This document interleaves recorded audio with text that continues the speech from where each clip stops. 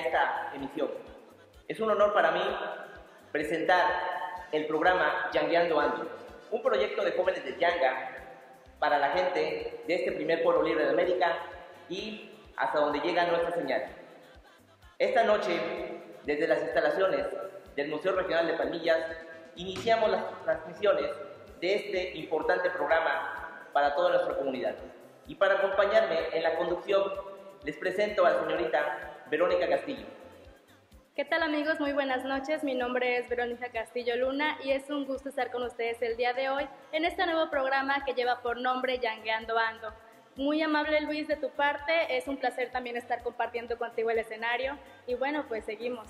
Pues Vero, en este programa de Yangueando Ando vamos a ver muchos temas de interés para la comunidad de este primer pueblo libre de América e iniciamos nuestras emisiones con un padrino de honor, una persona que ha llegado fuera de nuestra comunidad y que ha sido muy importante para el estudio de muchos temas que nos rodean aquí en el primer pueblo de América. Le cedo el micrófono y la palabra a mi amigo, el arqueólogo Fernando Alberto Miranda Flores, quien amablemente en su calidad de director del Museo Nacional de Palmillas, nos permitió las instalaciones de este para realizar el arranque de esta emisión de los, de, para todos los yanguenses. Fernando. Buenas noches, Luis. Buenas noches, Verónica. Buenas noches, amigos que nos escuchan, ven en Yanga y en todos los lugares a donde llega esta transmisión. Soy Fernando Miranda Flores, investigador del Museo Regional de Palmillas, Yanga, Veracruz, Muy buenas noches, Fernando, y gracias por darnos la oportunidad de que nuestra emisión de Yaqueando Ando se inicie desde, desde, este museo, que ha sido, pues, de alguna manera, un atractivo más de, de, la, de la cuestión histórica y turística que tenemos en el municipio de Yanga, y a ti por aceptar amablemente participar en nuestro programa. Sí, son ya 10 años de la labor de este museo. Hoy tenemos como marco una de las obras espectaculares que pueden ver nuestros visitantes.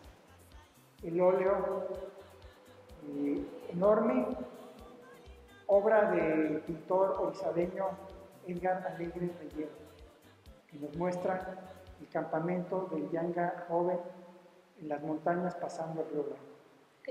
Claro que sí, está muy bonito el cuadro, lo observábamos y bueno, pues también le agradezco el día de hoy que está con nosotros y bueno, pues lo invitamos para que se quede y más adelante vamos a platicar un poquito acerca de la historia de Yanga y otros temas en común. Y bueno, pues los invitamos también a ustedes, amigos televidentes, para que se queden en Yangueando Ando y nos acompañen esta noche. Mandamos a una cápsula y disfruten de su, programa Yangueando Ando. De Yanga para Yanga y para el mundo.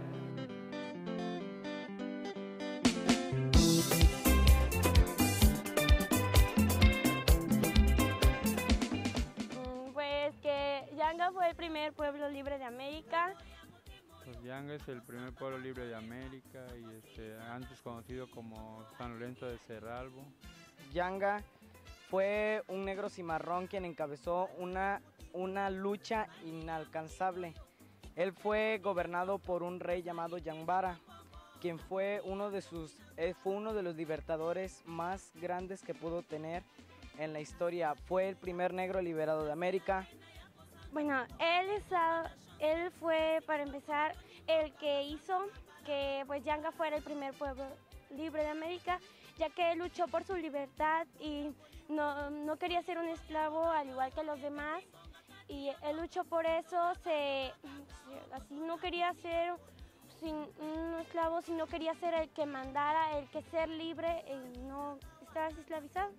Él fue este, un esclavo de cual llegó de San Lorenzo, quien llamaron, quien llamaron a los negros cimarrones. Por eso Yanga ha sido una gran, un gran importante monumento a la revolución histórica de los negros, de la lucha contra la corrupción y la libertad de este pueblo llamado Yanga.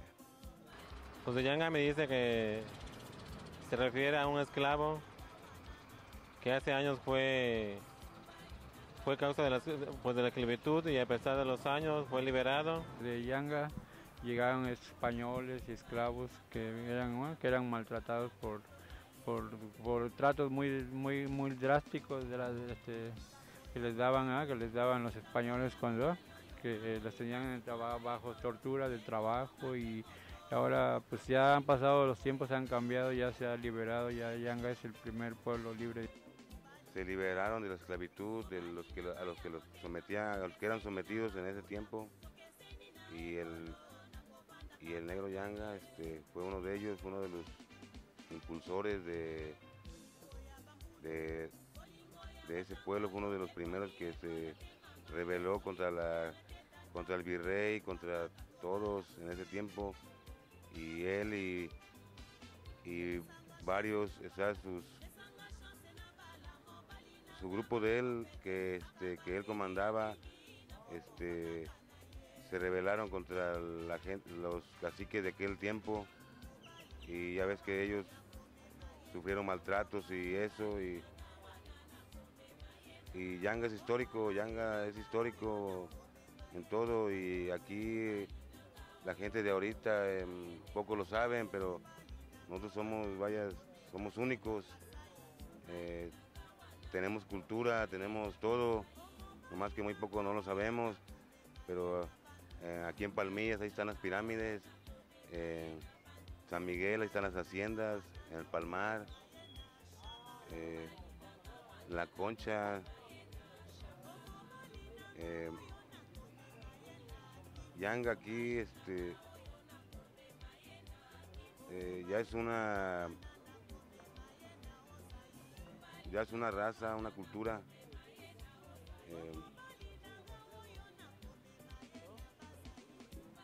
Este, bueno, las personas dicen que la- el pueblo de Yanga es un pueblo mágico, que es un pueblo, vaya, que tiene de culturas y es lo que yo he escuchado. En el mes de agosto tenemos una fiesta en honor a San Lorenzo y en el mes de septiembre tenemos el carnaval en honor al primer negro liberado de América, la cual Yanga. Gracias a él tenemos a ese nombre, Yanga, que creo que antes mencionado se llamaba Gaspar. Pues yo sé que es, antes era el 6 de enero, pero ahora ya lo cambiaron que es el 14 de, de febrero. Yanga, sé que solamente el 16 de agosto eh, se celebra Día de San Lorenzo, el Día del Santo Patrono.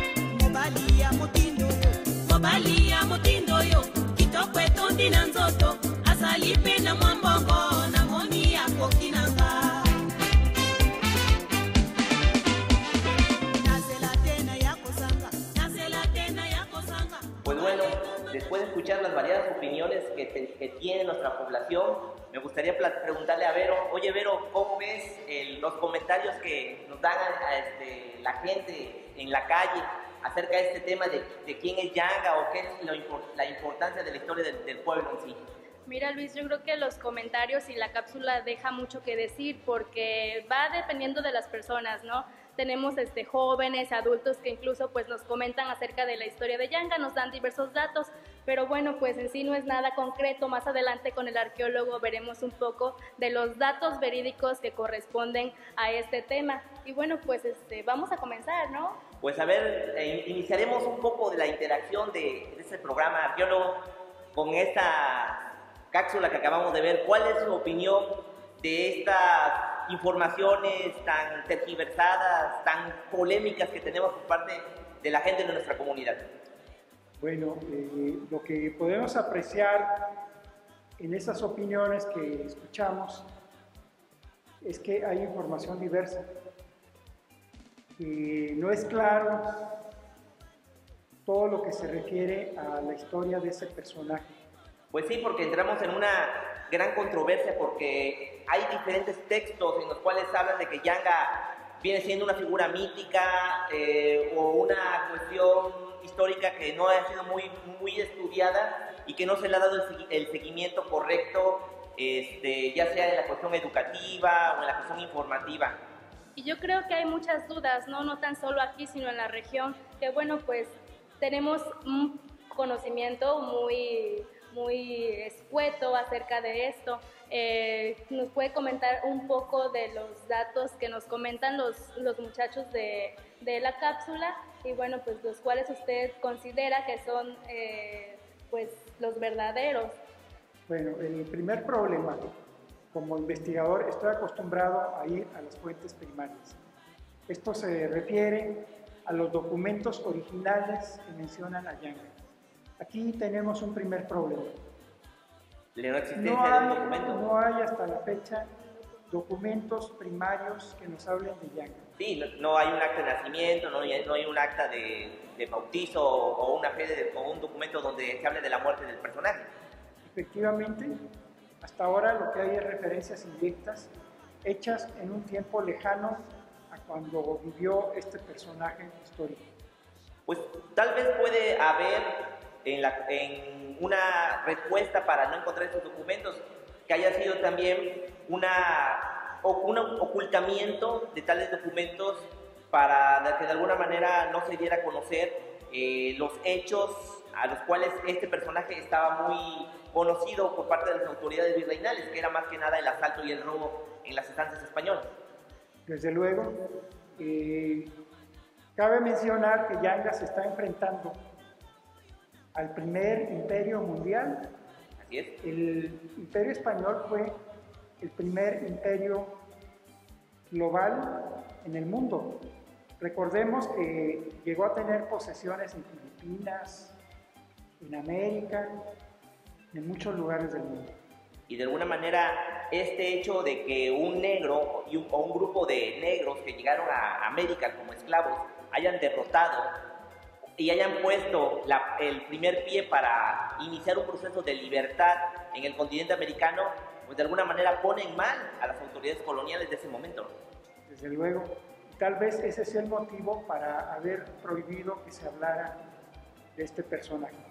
Pero también tenemos que seguir indagando y buscar esas fuentes primarias que nos lleven a saber más de este personaje. Como fuentes primarias, ¿cuáles nos podría decir usted que, que sería lo que, bueno, aclarar las dudas de las personas que estamos aquí y de las que nos están viendo y quienes vieron la cápsula? Que bueno, pues tenemos diferentes opiniones y deja mucho que decir porque aunque hay también estudiantes en la cápsula y bueno, pues también nosotros tenemos un grado de estudio, no conocemos exactamente eh, los las bases fundamentales de esta historia. ¿Qué datos nos podría usted decir que Se tienen que seguir trabajando los archivos, tanto de la región como las fuentes del Archivo General de la Nación en México y de los archivos en España y en el mundo. Y tú, Fernando, como una persona que vienes fuera de nuestro municipio, ¿cómo fue el impacto o cómo fue tu primer acercamiento con la historia del negro Yanga? Bueno, fíjate que yo supe de Yanga hace más de 40 años cuando estudiaba la primaria.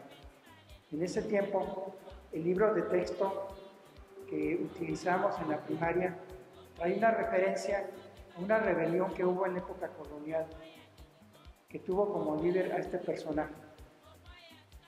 Esa referencia al paso del tiempo se quitó y ese es uno de los motivos por los cuales ahora hay mucho desconocimiento sobre este personaje. Yo te puedo comentar, Fernando, que aquí en el estado de Veracruz, tú eres del estado de Michoacán, este, también en el, en el sexto año tuvimos este, esa referencia de Yanga, aunque era un poco mítico. Vino una reforma a la estructura educativa y lo colocaron en tercer año de primaria. Y en el año 2007 hubo también una reforma a nivel secundario y bachillerato. Ahí el tema de Yanga como primer pueblo libre de América o como precursor de los movimientos independentistas en México ya es tocado de manera importante junto a otras rebeliones como la de los, el hijo de Hernán Cortés o la de Jacinto Canek.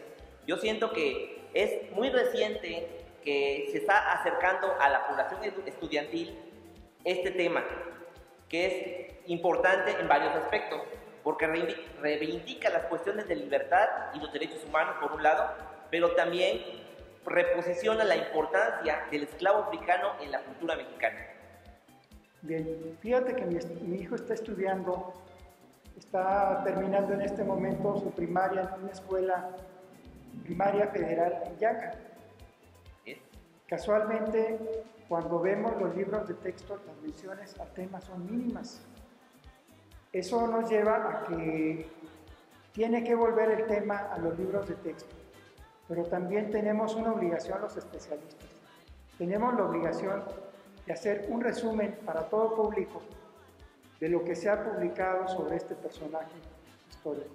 Es una de las grandes tareas que tenemos pendiente quienes nos dedicamos al tema.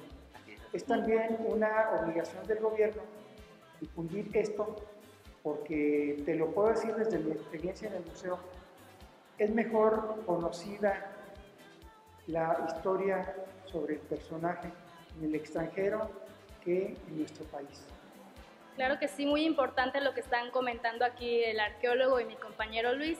Y bueno, pues amigos, me imagino que también ustedes como yo y como Luis están eh, con la duda en su casa o bueno, pues pueden también, les comento, opinar acerca de nuestra página en, en Facebook, nuestras redes sociales en YouTube. Y bueno, pues eh, el programa, recuerden, nos pueden encontrar ahí como Yangueando Ando. Podemos eh, darle me gusta o compartir nuestro video si serían ustedes tan amables. También les comento que más adelante, mm, con la ayuda de nuestros patrocinadores, podemos encontrar lo que son sorpresas, eh, algunos artículos que les vamos a dar a ustedes como regalos.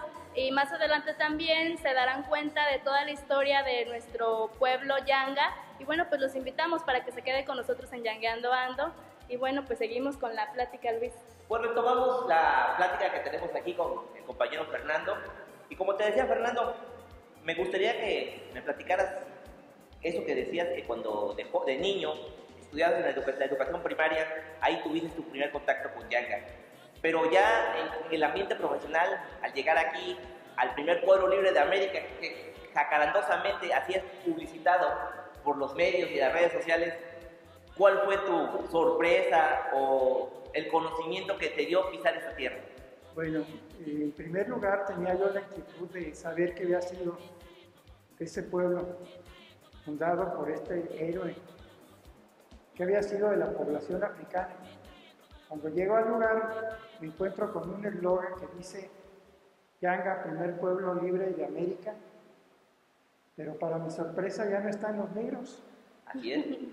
La población desapareció y no veo de qué manera se expresa ese pensamiento de primer, primer pueblo libre. Aunque carecemos de la cuestión de que no tenemos población af- afromestiza, se puede decir, el el eslogan pues difiere mucho porque este se generó a través de una, una administración municipal de los años 80. Es de ahí que popularmente Yanga será conocido como el primer pueblo libre de América. Y como dices tú, lamentablemente la raíz afro ya en, el- en la cabecera municipal ya no la podemos ver. Algunas gentes todavía conservan los, los rasgos este, físicos en comunidades como Palmillas, El Mirador, San Miguel, o por ejemplo nuestros vecinos del municipio de Cuitlavo en Mataclán. Ahí podemos ver todavía la fisonomía de los descendientes de. Bueno, pues eh, ahí tenemos también otro tema importante. Eh, un problema que ha habido con esta población es que no se reconocen ni se asumen como afrodescendientes.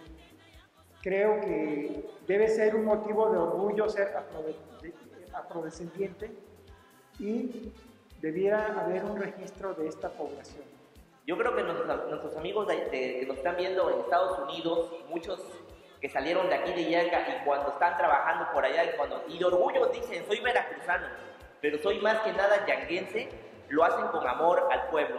Yo tengo la, la oportunidad de tener a varios amigos en el Facebook que me escriben, que tenemos contacto a diario y me dicen que sigamos platicando, sigamos conversando de los temas sobre la historia de Yanga, porque aunque ellos están lejos, sienten bonito saber, sienten bonito ver una fotografía o saber de un comentario de algún conocido que se encuentra aquí y que les re- recuerda muchas cosas bonitas que vivieron durante su estancia en este pueblo.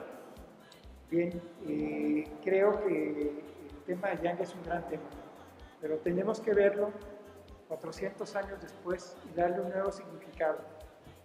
Creo que ese nuevo significado que debemos darle a la lucha de Yanga es por la defensa de los derechos humanos, porque esas nuevas formas de explotación se terminen. Creo que es eh, la posición que debemos ver de Yanga hacia el futuro. Claro que Con sí. eso le volvemos a dar de nuevo sentido a ese primer pueblo libre, donde hubo un grupo de afrodescendientes que se rebelaron contra el imperio español y tuvieron éxito en su lucha. Yo quisiera preguntarle a usted qué piensa acerca de la historia general del pueblo de Yanga, porque bueno, pues la gente puede opinar muchas cosas, yo incluso, bueno, pues cualquiera puede decir, pero ¿qué piensa el arqueólogo de la historia general del pueblo de Yanga? Bueno, ahí también tenemos una gran sorpresa. Hubo varios pueblos de Yanga. Eh, primero, el palenque donde vivía Yanga con su gente. El lugar donde solía refugiarse, donde daba cobijo a esos cimarrones, a esos negros huidos a los montes.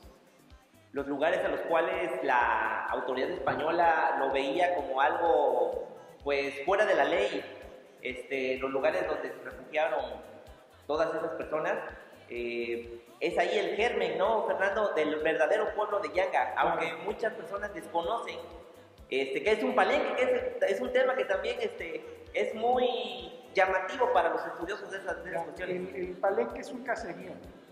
Es el lugar hecho con chozas y posiblemente con una capilla para el culto religioso o de otro tipo que usaban estos cimarrones. Y Fernando, cuando es que algunos cuando hablan con, con la palabra palenque o hacen referencia a, es- a esta palabra, piensan que estamos hablando de la, la jungla africana con las chocitas de, de palma y adobe, no sé. Si nos pudieras explicar un poquito de, Bueno. de- de esas cuestiones. En, en este caso se trata de una eh, adaptación de lo que acos- acostumbrados a construir estos antiguos africanos a las necesidades locales. No encontraron las mismas palmas, no encontraron los mismos árboles, pero usaron las mismas técnicas. El problema que tenemos para hallar esas evidencias es que son materiales perecederos. Aquí la madera, por la intemperie, por la humedad y el clima, no se conserva más allá de 100 años. Arqueólogo, ¿y me podría decir más o menos cómo era la vestimenta de los afrodescendientes en aquella Bueno. época? Seguramente fue parecida a la de los indígenas. Lo que tenían aquí a la mano disponible era prendas de algodón. Hubo aquí población indígena que casi desapareció, pero la gente de Yanga convivió con indígenas de la Sierra de Songoyeca.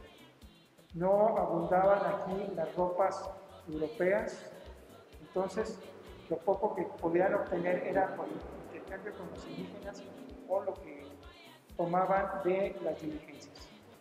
Oye, Fer, y la polémica, la polémica que por ahí se anda, bueno, que siempre se ha gestado, de que siempre hemos visto como habitantes del pueblo de Yanga, la posición actual en la que vivimos, es ahí donde realmente se fundó el pueblo o anteriormente tuvimos otra posición. No, eh, de hecho, eh, la fundación del pueblo de San Lorenzo de los Negros fue hacia la zona donde estamos. Posiblemente aquí en Palmillas no estamos muy lejos de donde fue el sitio original de ese pueblo que estuvo aquí hasta el año de 1654. La gente de Yanga sufrió inclemencias porque había zonas que se inundaban y so- solicitaron al virrey el traslado del pueblo a donde está actualmente la cabecera. Eso ocurrió en el año de 1654. Muy importante todo esto que comentan, pero bueno, hacemos una pequeña pausa, amigo televidente, y regresamos después del corte.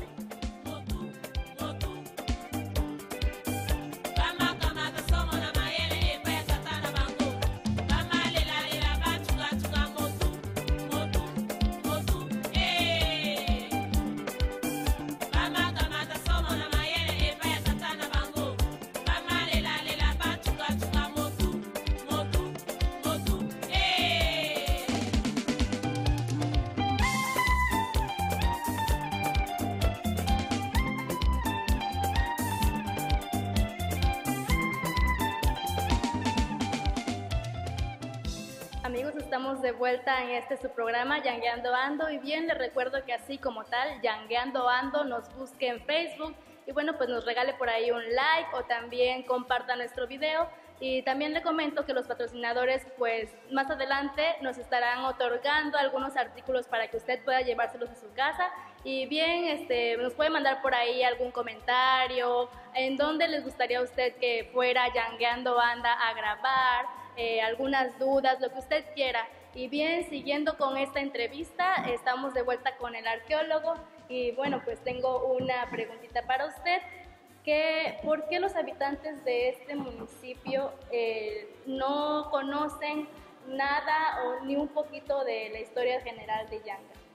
Bueno, tenemos un primer problema. Fíjate que ocurrieron muchas cosas en la historia del pueblo que llevaron a que los fundadores originales se fueran a otros lugares.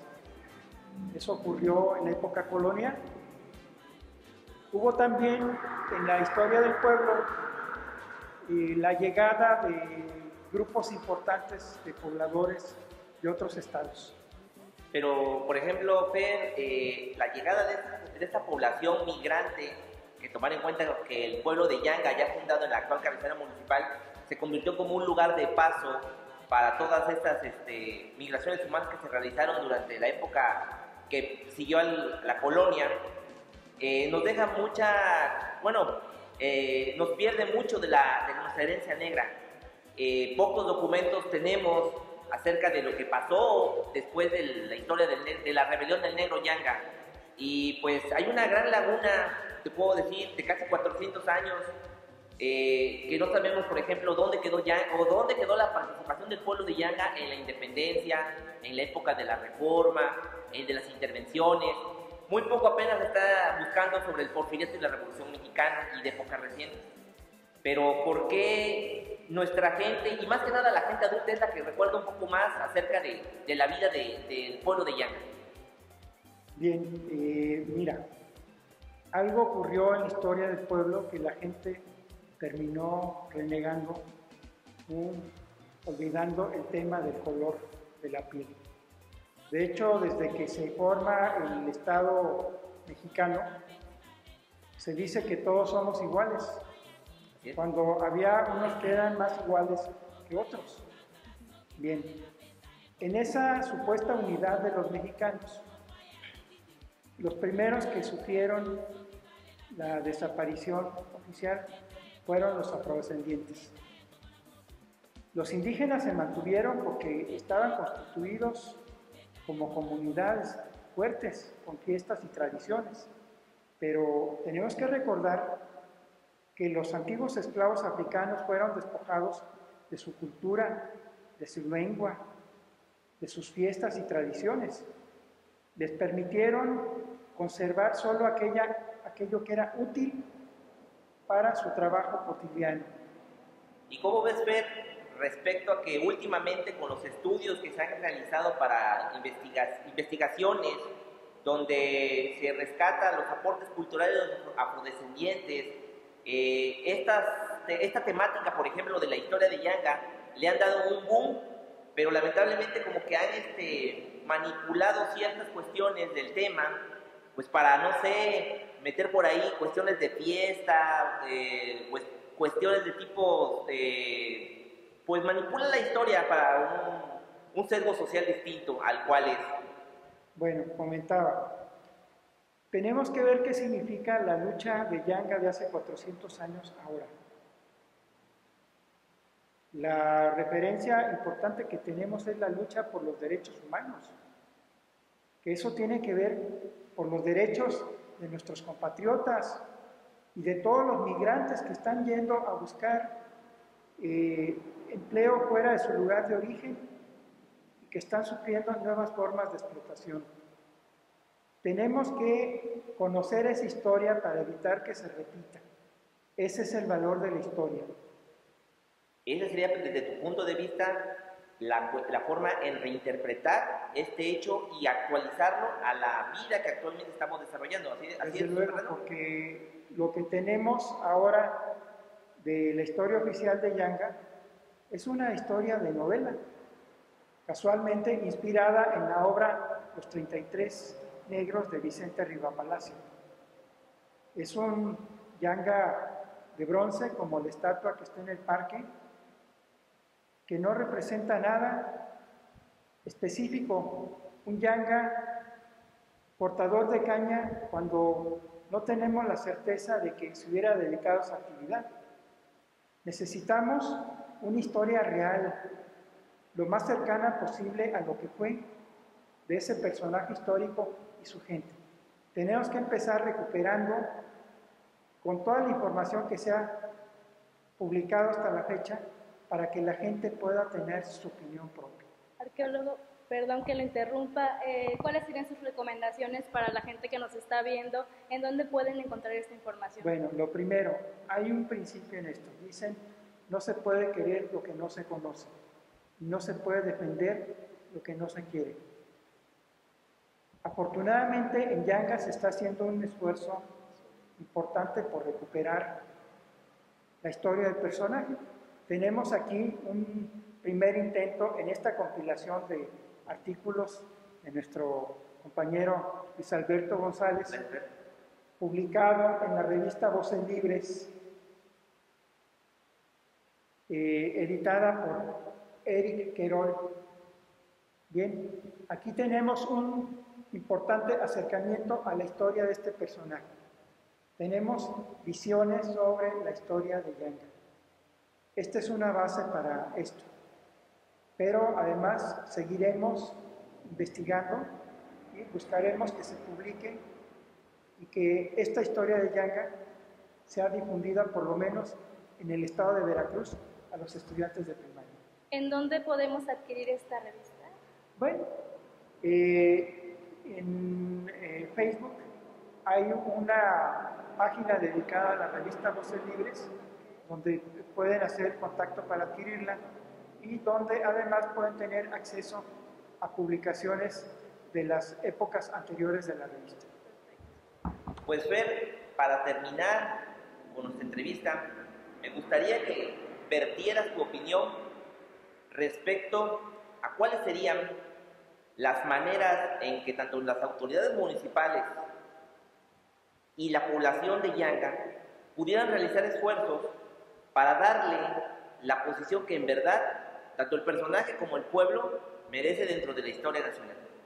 Bueno, tenemos en primer lugar la obligación de conocer la historia, que las decisiones que se tomen sobre fechas de celebración no sean ya sobre ocurrencias o sobre cuestiones arbitrarias. Tenemos una fecha, la única con certeza, para celebrar algo en Yanga. Se refiere a la fecha en que se dio el punto legal. Esto es el 3 de noviembre de 1630. Es decir, que este año estaríamos celebrando no los 400 años como nos, nos han hecho creer de la fundación del pueblo, sino eh, realmente y con documento en mano 385 años en el cual el pueblo de Yanga se funda como tal, pero en la comunidad de Palmillas. Efectivamente, eh, existió de hecho, pero de derecho se dio a partir de esa fecha. Entonces, es la fecha cierta que tenemos para celebrar la fundación de la villa de San Lorenzo de los Negros o Yanga. Pues la gente de Palmillas, pónganse las pilas porque este 3 de noviembre estaremos celebrando 385 años y si se puede, eh, este, podemos realizar, no sé, alguna actividad para que en el pueblo de, de la, en la comunidad de Palmillas se, re- se recuerde esa fecha tan importante. Claro que sí, un acontecimiento muy importante en lo que es la historia del pueblo de Yanga. Y bueno, pues más adelante estaremos comentando si se lleva a cabo este evento y la hora o el lugar exacto para que puedan asistir y acompañarnos en este su programa. Pues bueno, auditorio de Yangueando Ando, vamos a despedir a nuestro amigo y padrino de este programa, el arqueólogo Fernando Miranda Flores. Fernando, no sé si me comentarías algo para terminar tu participación en esta emisión.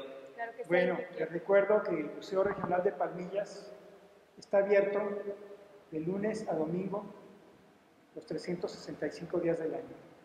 La entrada es gratuita. Puedes venir con tu familia. Aquí podrás conocer algo importante de la historia regional. Podrás conocer objetos importantes de épocas pasadas, de los pueblos que han habitado en esta región desde, tiempos muy remotos. Vamos a esperarte el próximo 12 de julio en una celebración artística y cultural a partir de las 11 de la mañana, que forma parte de las actividades con que estamos celebrando los 10 años de vida de este museo. Esperamos tu visita.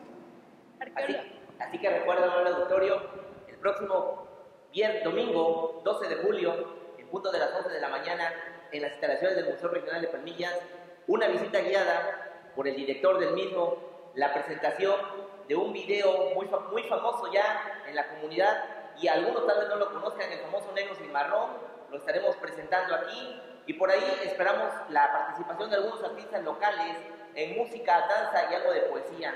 Así que acércate a este Museo Regional de Palmillas, porque también es parte de Yanga. Y le cedo la palabra a mi compañera Vero. Vero, ¿cómo te pareció eh, esta emisión, este inicio de este proyecto de gente yanguense para Yanga y el mundo? Me parece perfecto que las personas que se encuentran en otro estado e incluso en Estados Unidos, que bueno, pues puedan acompañarnos a través de este medio. Y bien agradezco también la presencia del arqueólogo que bueno, pues estuvo acompañándonos el día de hoy. Y como ya mencionaron ustedes dos, eh, el próximo 12 de julio los esperamos en este evento que se llevará a cabo en las instalaciones del Museo Regional de Palmillas. Berito, si puedes platicar en nuestras redes sociales dónde nos pueden encontrar próximamente. Claro que sí, cómo no, estamos a través de Facebook, en el programa nos pueden buscar como Yangueando Ando y bueno, pues esta es la red social, también en YouTube y próximamente eh, en algún número telefónico. Bueno, les recuerdo para toda mi gente de allá de Estados Unidos, la gente de San José, California, Los Ángeles, próximamente en la siguiente emisión vamos a tener como un arranque del, car- del carnaval o afrocaribeño Yanga 2015, no sé cómo le han puesto ya últimamente, que las autoridades municipales ya andan demasiado macarandosos por estas fechas. Tendremos aquí la participación para que las conozcan toda nuestra gente de las candidatas que luchan por alcanzar el reinado. Y también vamos a hablar un poco de la historia del carnaval de Yanga y del afrocaribeño, que aunque muchos escuchan este nombre tan rimbombante, pocos conocen acerca de lo que es. Así que recuerden, Yangueando Ando, aquí en Yanga.